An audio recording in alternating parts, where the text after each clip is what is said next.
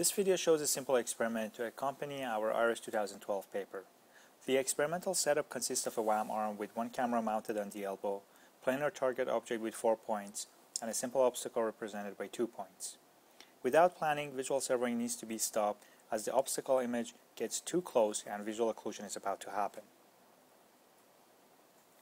With a visual motor path planned by the proposed algorithm, Visual occlusion and other constraints such as the field of view and joint limit constraints are avoided until the goal is reached. The planner has planned midway points in the visual motor space with the corresponding visual features shown in blue. The goal is successfully reached at the very end.